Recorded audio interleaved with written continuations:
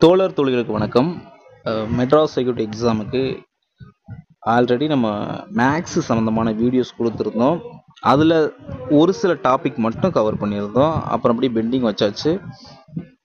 அதுக்கப்புறம் test pages தமிழுக்கும் பொது அறிவுக்கும் தினந்தோறும் இரவு ஒன்பது மணிக்கு நம்மளுடைய டெலிகிராம் சேனலில் குயிஸ் மூலம் டெஸ்டஸ் வந்து நடந்துட்டு வந்துட்டுருக்கு ஆல்மோஸ்ட் நம்ம வந்து தமிழை பொறுத்தளவு ரிவிஷனில் இருக்கிறோம்.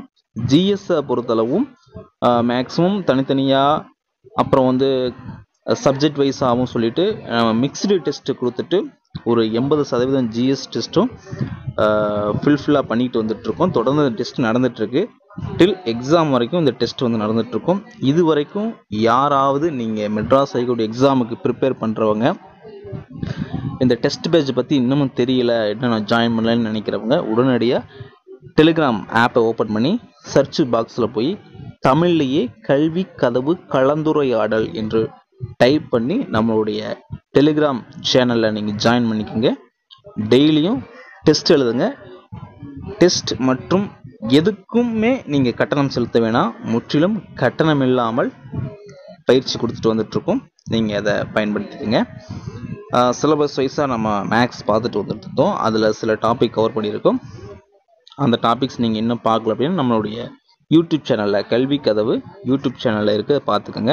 அதனுடைய தொடர்ச்சியாக பரப்பளவு பார்க்க போகிறோம் பரப்பு அப்படின்னு கொடுத்துருப்பாங்க. நம்மளுடைய சிலபஸில் எதுவுமே ஒரு ஹிண்ட்ஸ் மாதிரி கொடுப்பாங்க. அப்போ பரப்பு அப்படின்னா நம்ம தான் வட்டத்தினுடைய பரப்பளவு சதுரத்தினுடைய பரப்பளவு செவ்வக முக்கோணம் அப்படின்னு சொல்லிட்டு நம்ம கவர் பண்ணிக்கணும்.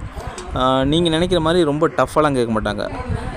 மென்சுரேஷன் அளவியலை பொறுத்தளவு டிஎன்பிசி சைட்லேயே ரொம்ப கஷ்டமானலாம் கேட்க மாட்டாங்க. ஏன் அப்படின்னா ஃபார்முலா இல்லாமல் இந்த கணக்குகளை சால்வ் பண்ணுறது ரொம்ப ரொம்ப கஷ்டம். அதனால் வந்து இந்த ஏரியாவில் கொஞ்சம் ஈஸியாக தான் கேட்பாங்க கொஸ்டின்ஸ் அதுலேயும் மெட்ராஸ் ஐக்கூடிய எக்ஸாம்னா பேசிக்காக வட்டம் சதுரம் செவ்வகம் இந்த மூணு தெரிஞ்சுக்கிட்டாலே போதும். பேசிக்கான சம்ஸ் தான் கேட்பாங்க. அதாவது ஆரம் கண்டுபிடிக்க சொல்லுவாங்க அல்லது பரப்பளவு கண்டுபிடிக்க சொல்லுவாங்க. இல்லைன்னா சுற்றளவு கண்டுபிடிக்க சொல்லுவாங்க.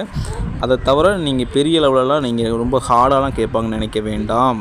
ஷோராக நீங்கள் ஒரு நிமிஷத்தில் கணக்கு போகிற மாதிரி தான் அவங்க கொஸ்டினே கேட்பாங்க. ரைட் சரி அந்த வகையில் பரப்பளவு நம்ம வட்டத்திற்கான பரப்பளவு சதுரம் மற்றும் செவ்வகம் இந்த பரப்பளவுக்கான ஃபார்முலாஸை எப்படி வந்து படிக்காமல் மெமரி பண்ணாமல் இதை ஈஸியாக வந்து எக்ஸாமில் இதை நம்ம ஞாபகம் வச்சுக்கிறது எப்படி நம்ம டெரிவ் பண்ணி கொண்டு வரது எல்லாமே நான் சொல்கிறேன் ரைட்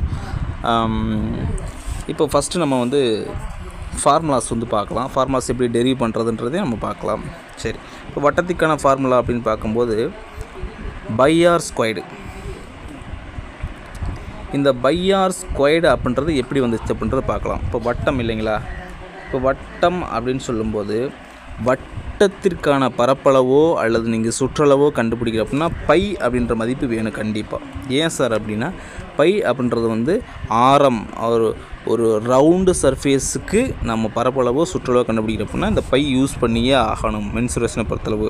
அப்போ நம்ம பை யூஸ் பண்ணுறோம் அப்புறம் இதனுடைய பரப்பளவுக்கு நம்ம என்ன கண்டுபிடிக்கணும் அப்படின்னா இதனுடைய விட்டம் எவ்வளவு அப்படின்னு கண்டுபிடிக்கணும். விட்டம்னாக்க இருக்கிறதுலே மிக பெரிய தொலைவு. அப்போ விட்டம் அப்படின்றது வந்து டி அப்படின்னு சொல்கிறோம் டி அப்படின்றது விட்டம். அப்போது பை டி இது ரெண்டையும் போட்டு நம்ம பெருக்கும் பொழுது நமக்கான பரப்பளவு கிடைக்கும். ஆனால் இந்த மாதிரி சம்ஸில் நமக்கு விட்டம் நேரடியாக கொடுக்க மாட்டாங்க. அதற்கு பதிலாக ஆரம் தான் கொடுப்பாங்க. ஆரம்னா ஆர் அப்படின்ற சிம்பிள் போட்டு கொடுப்பாங்க. சார் அப்படின்னா என்ன சார் அப்படின்னா விட்டத்தினுடைய பாதி விட்டத்தில் பாதி தான் ஆரம். சரிங்களா? அப்போ டி பை டூ. விட்டத்தில் பாதி தான் ஆரம் அப்படின்றது. சரி இப்போ ஆரம் கொடுத்துட்டாங்கன்னா எப்படி விட்டம் கண்டுபிடிக்கிறது? அந்த ஆரத்தை ரெண்டால் பெருக்குங்க. இப்போ ஆரம் வந்து அஞ்சுன்னு கொடுத்துட்டாங்கன்னா அது ரெண்டால் பெருக்குன்னா பத்து. பத்து தான் விட்டம். அப்போ விட்டம் பத்துன்னு கொடுத்துட்டாங்கன்னா எப்படி ஆரம் கண்டுபிடிக்கிறது? இது ரெண்டால் வகுத்துருங்க. ஆரம் கிடச்சிரும். எனவே D equal to two R ஞாபகம் வச்சுங்க சரிங்களா? ரெண்டு ஆரம் சேர்ந்தது தான் ஒரு விட்டம் அப்படின்னு ஞாபகம் வச்சுக்கோங்க இல்லையா? ஆரம்னா என்னது? டி பை டூ விட்டத்தில் பாதி ஆரம். இதை நீங்கள் ஞாபகம் வச்சுக்கணும். ரைட் அப்போது பரப்பளவுக்கு நம்ம எப்படி ஃபார்முலா செட் பண்ண போகிறோம் ஒரு பை இருக்கணும். ஆர் ஸ்கொயர்டு ஆர் ஸ்கொயர்டு இதுதான் வட்டத்தினுடைய பரப்பளவு. ஏன்னா ரெண்டு ஆறு இருக்குன்னு இல்லைங்களா? அப்போ ரெண்டு ஆறு போட்டால் ஆறு இன்ட்டு ஆறு போட்டால் ஆர் ஸ்கொயர்டு அப்படின்றது கிடைக்கும். ரைட்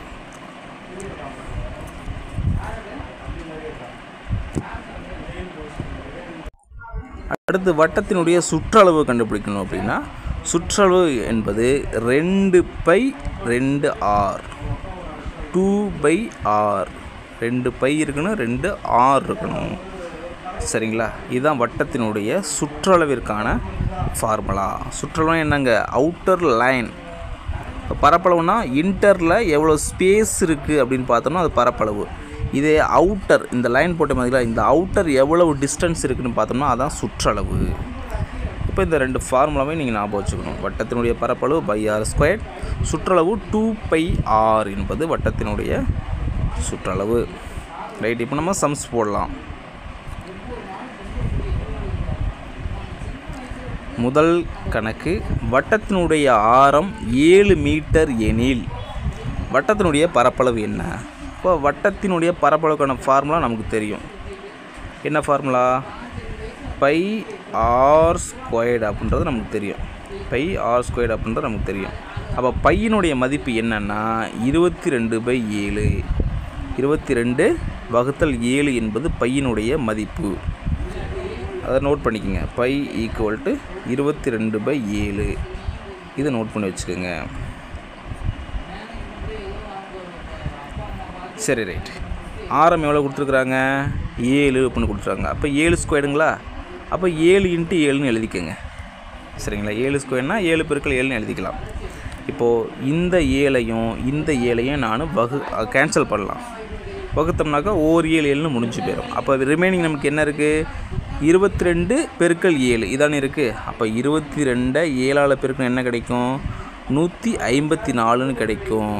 நூற்றி ஐம்பத்தி நாலு மீட்டர் ஸ்கொயர்டுன்னு போடணும். ஏங்க சார் அப்படின்னா ஏன்னா மீட்டரை மீட்டரையும் பெருக்கும்போது நமக்கு மீட்டர் ஸ்கொயர்டு கிடைக்கும். இப்போ இந்த இருபத்தி ரெண்டுன்றது ஒரு மீட்டருங்களா இந்த ஏழுன்றது ஒரு மீட்டருங்களா அப்போ மீட்டர் மீட்டர் பெருக்கும்போது மீட்டர் ஸ்கொயர்டு எனவே நூற்றி ஐம்பத்தி நாலு மீட்டர் ஸ்கொயர்டு என்பது வட்டத்தினுடைய ஏழு மீட்டர் ஆரம் கொண்ட வட்டத்தினுடைய பரப்பளவு. புரிஞ்சுதுங்களா? இன்னொரு டைம் சொல்கிறேன் வட்டத்தினுடைய ஆரம் என்ன? ஏழு மீட்டருங்களா ரைட் அதனுடைய பரப்பளவுக்கான ஃபார்முலா என்ன? Pi R squared. இப்போ பையனுடைய மதிப்பு என்ன? இருபத்தி ரெண்டு பை ஏழு. ஆறுனுடைய மதிப்பு என்ன? ஏழு. ஏழு ஸ்கொயர்டுங்களா? அப்போ ஏழு ஸ்கொயர்டை எப்படி எழுதலாம்? ஏழு பெருக்கள் ஏழுன்னு எழுதலாமா? ரெண்டு டைம் ஏழு எழுத போகிறோம் இப்போ கேன்சல் பண்ணுங்கள் ஓர் ஏழு ஏழு கேன்சல் பண்ணியாச்சு. மிச்சம் இருக்கிறது இருபத்தி ரெண்டு ஏழு. இருபத்தி ரெண்டு ஏழையும் பெருக்கள் என்ன கிடைக்குது? நூற்றி ஐம்பத்தி நாலுன்னு கிடைக்குது. என்ன அழகு? Metre squared. ஏன்னா இங்கே ஒரு மீட்டர் இருக்குது இங்கே ஒரு மீட்டர் இருக்குது ரெண்டு என்ன பிறக்கணும் இல்லைங்களா? அப்போ மீட்டர் ஸ்கொயர்டு அப்படின்னு கிடைக்குது ரைட்? இதுதான் வட்டத்தினுடைய பரப்பளவு. அடுத்த சம் பார்க்கலாம். வட்டத்தினுடைய பரப்பளவு கொடுத்துட்டாங்க. நூற்றி ஐம்பத்தி நாலு மீட்டர் ஸ்கொயர்டு எனில் அதனுடைய ஆரம் என்ன? அப்படியே ரிவர்ஸாக கேட்குறாங்க வட்டத்தினுடைய பரப்பளவுன்னு அதனுடைய ஃபார்முலா என்ன? பை ஆர் ஸ்கொயர்டு சரிங்களா? இந்த பையார் ஸ்கூடிய பையார் ஸ்கொயரினுடைய மதிப்பு தான் நூற்றி ஐம்பத்தி நாலு. அவங்க கணக்கில் கொடுத்துட்டாங்க. இதானே இப்போ வட்டத்தினுடைய பரப்பளவு. அப்போ வட்டத்தினுடைய பரப்பளவு வேணும் கொடுத்துருக்காங்க? நூற்றி ஐம்பத்தி நாலு கொடுத்துட்டாங்களா? அதை தான் நான் அப்படி எழுதியிருக்கேன். ஓகே? இப்போ நமக்கு என்ன கேட்குறாங்க? ஆரம் கேட்குறாங்க. ஆரம் கேட்குறாங்களா? Right okay. இப்போ நூற்றி ஐம்பத்தி நாலு தான் வட்டத்தினுடைய பரப்பளவு. அதனுடைய ஃபார்முலா பையார் ஸ்கொயர்டு. ரைட் இந்த மாதிரி நீங்கள் எழுதிக்கணும். வட்டத்தினுடைய பரப்பளவு நூற்றி ஐம்பத்தி நாலு. அதனுடைய ஃபார்முலா பை ஆர் ஸ்கொயர்டு இப்படி நான் எழுதிட்டேன். ரைட் இப்போ அடுத்து நான் என்ன பண்ண போகிறேன் இந்த நூற்றி ஐம்பத்தி நாலு அப்படியே வச்சுக்கிட்டு பையனுடைய மதிப்பு என்னப்பா? இருபத்தி ரெண்டு பை ஏழு. ஆர் ஸ்கொயர்டு நமக்கு தெரியாது. அதை நான் அப்படியே வச்சுக்கிறேன். இப்போ இந்த ஏழு இந்த சைடு கொண்டு போங்க. கொண்டு போயிட்டால் என்ன ஆகும்? இங்கே இருக்கக்கூடிய ஏழு வகுத்தல் இருக்குங்களா?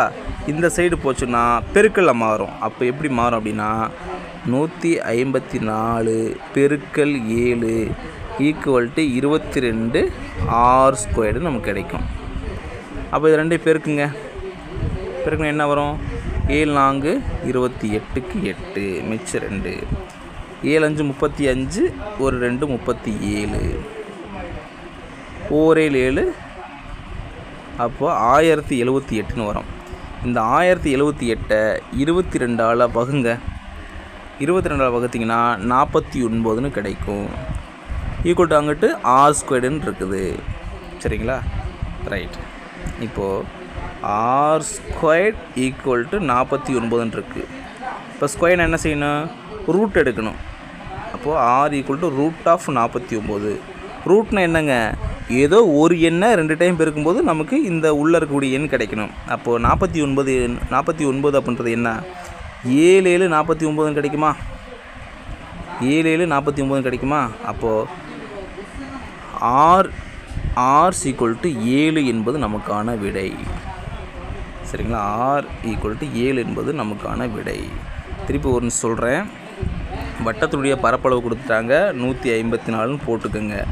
பரப்பளவுக்கான ஃபார்முலா என்னங்க? பை ஆர் ஸ்கொயர்டு இப்போ நமக்கு என்ன கேட்குறாங்க இந்த ஆர் தானே கேட்குறாங்க அப்போது நூற்றி ஐம்பத்தி நாலு பையனுடைய மதிப்பு இருபத்தி ரெண்டு பை ஏழு. ஆர் ஸ்கொயர்டு அப்படியே வச்சுக்கோங்க.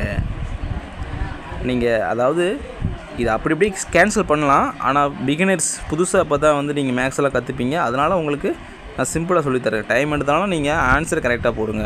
அவசரப்பட்டு நம்ம தப்பாக போட்டு ஒரு மார்க் போயிடக்கூடாது இல்லைங்களா? அதனால் பொறுமையாக கூட போடுங்க. இந்த ஏழை கொண்டு வந்து இங்கிட்டு ஈக்குவல் டு இங்கிட்டு கொண்டு வந்தீங்கன்னா பெருக்கல்ல வரும். ஏன்னா இங்கே வகுத்தலில் இருக்கிற ஏழு ஈக்குவல்ட்டை தாண்டி வரும்போது பெருக்கல்ல வரும். சரிங்களா? அப்போது நூற்றி ஐம்பத்தி நாலு பெருக்கல் ஏழு ஈக்குவல் டு இருபத்தி ரெண்டு ஈக்குவல் பெருக்கல் ஆர் ஸ்கொயர்னு வரும். இப்போ இது ரெண்டு பெருக்குனீங்கன்னாக்கா ஆயிரத்தி எழுபத்தி எட்டு வருதா? ஈக்குவல் டு இருபத்தி ரெண்டு ஆர் ஸ்கொயர் இருக்கா? இங்கே இருக்கக்கூடிய இருபத்தி ரெண்டு பெருக்கல் இருக்குதா? அது இங்கே கீழே வரும்போது வகுத்தலில் மாறும். இப்போ ஆயிரத்தி எழுபத்தி எட்டு டிவைடட் பை இருபத்தி ரெண்டு இதை அடித்து போடும்போது நமக்கு ஆர் ஸ்கொயர்டு ஈக்குவல் டு நாற்பத்தி ஒம்போதுன்னு கிடைக்கும். அப்போது அடுத்து என்ன செய்யலாம்? R equal to root of நாற்பத்தி ஒம்பது. ஏழில் நாற்பத்தொம்போதா அப்போ ஏழு தான் நமக்கான ஆன்சர் புரிஞ்சுதுங்களா? ரைட்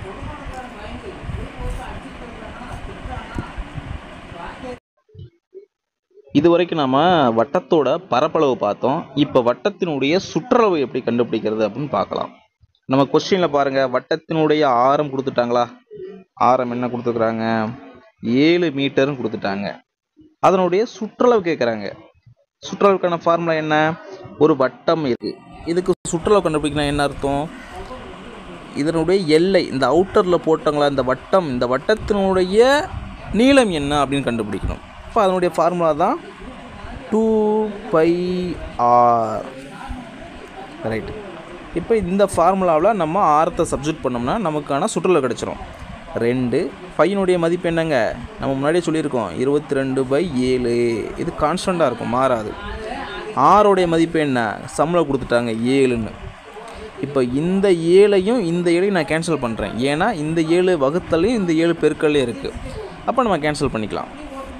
ரைட்டுங்களா கேன்சல் பண்ணதுக்கப்புறம் மீதி என்னங்க இருக்குது இருபத்தி ரெண்டு பெருக்கல் ரெண்டு மட்டும்தான் மீதி இருக்குது இதை பெருக்கும் போது நமக்கு என்ன கிடைக்குது? நாற்பத்தி நாலுன்னு கிடைக்குது. அப்போ நாற்பத்தி நாலு மீட்டர். இங்கே வந்து மீட்டர் ஸ்கொயர்டு போடக்கூடாது. ஏன் போடக்கூடாதுன்னா ஏரியா கண்டுபிடிக்கும் போது மட்டும்தான் மீட்டர் ஸ்கொயர்டை போடணும். ஏரியானா என்னங்க? அதாவது இன்டர் ஸ்பேஸ் எவ்வளோ இருக்குதுன்னு கண்டுபிடிக்கும் போது தான் நம்ம மீட்டர் இன்ட்டு மீட்டர். அதாவது மீட்டர் மீட்டர் இருக்கும்போது மீட்டர் ஸ்கொயர்னு வரும். இது சுற்றளவு. இதில் நம்ம லென்த்து மட்டும்தான் கண்டுபிடிக்க போகிறோம் அதனால் வெறும் மீட்ரு மட்டும்தான் வரும். சுற்றளவுக்கு மீட்டர் ஸ்கொயர்டு போட்டால் தப்பாயிடும். ரைட் இப்போ இந்த சம திருப்பி ஒரு டைம் பார்க்கலாங்களா? இப்போ ஃபார்முலாவை அப்ளை பண்ணுங்கள் சுற்றளவுடைய ஃபார்முலா என்ன? டூ பை ஆர் இப்போ டூக்கு டூ போட்டோம். பைக்கு இருபத்தி ரெண்டு பை ஏழு போட்டோம். ஆறினுடைய மதிப்பு என்ன? சம்மில் ஏழு கொடுத்துட்டாங்க. அப்போ இந்த ஏழை இந்த ஏழை நான் கேன்சல் பண்ணதுக்கப்புறம் எனக்கு மிச்சம் உள்ளது ரெண்டு பெருக்கள் இருபத்தி ரெண்டு இதை பெருக்கும்போது நாற்பத்தி நாலுன்னு கிடைக்குது. நாற்பத்தி நாலு என்பது மீட்டர். ஏன்னா சுற்றுலனுடைய அழகு மீட்டரில் தான் போடணும். ரைட் அடுத்து வந்து அடுத்த ஒரு கணக்கு. வட்டத்தினுடைய சுற்றளவு நாற்பத்தி நாலு மீட்டர்னு அவங்களே கொடுத்துட்டாங்க. அப்படின்னா அதனுடைய ஆரம் என்ன அப்படின்னு கண்டுபிடிக்கணும். இப்போ சுற்றளவு கொடுத்துட்டாங்க. அதனுடைய ஆரத்தை நம்ம கண்டுபிடிக்க போகிறோம் சரி கண்டுபிடிக்கலாம். இப்போது வட்டத்தினுடைய சுற்றளவு எவ்வளோ கொடுத்துருக்காங்க? நாற்பத்தி நாலு. அப்போ சுற்றளவுக்கான ஃபார்முலா என்ன? டூ பை ஆர் ரைட் இதில் நமக்கு ஆர் கண்டுபிடிக்கணுமா? அப்போ ஆரை விட்டுட்டு மீதி எல்லாத்துக்கும் நம்ம மதிப்புகளை சப்ஜெக்ட் பண்ணணும். ரெண்டு. பையனுடைய மதிப்பு இருபத்தி ரெண்டு பை ஏழு. ஆறு அப்படியே வச்சுக்கோங்க. ஏன்னா ஆறு தான் கண்டுபிடிக்க போகிறோம் இப்போ பார்த்தீங்கன்னா